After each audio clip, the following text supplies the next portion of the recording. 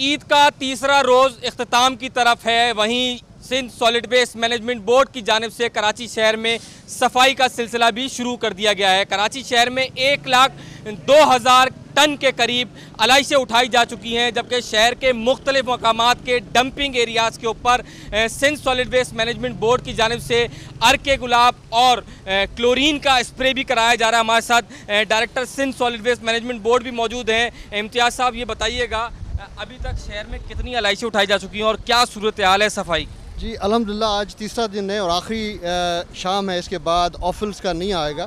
तो अभी तक हम अलहमदिल्ला सारे कराची में 99 हमारी पॉइंट्स हैं, उसमें हम काफ़ी कवर कर चुके हैं। एक लाख से ज़्यादा हम जो एल एफ़ पे साइड पे हम अपना ट्रेंचेस में वहाँ भेज चुके हैं।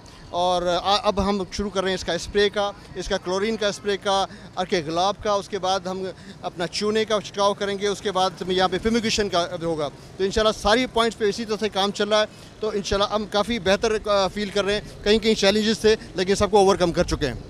आइए देखिए ये थे MD Sindh solid waste management board Imtiaz Shah जो बता रहे थे, शहर के अंदर एक एक लाख दो हज़ार के करीब अलाइशें उठाई जा चुकी हैं, जबकि शहर में अब सफ़ाई का सिलसिला शुरू कर दिया गया है। हम उर्दू बाज़ार के मुकाम पर मौजूद हैं, जहाँ फायर ब्रिगेड के ज़रिए स्प्रे कराया जा रहा है, जिसमें अर्क गुलाब और क्लोरीन शामिल की गई है, ताकि यहाँ पर किसी भी किस्म का कोई जरासीम पैदा ना हो सके।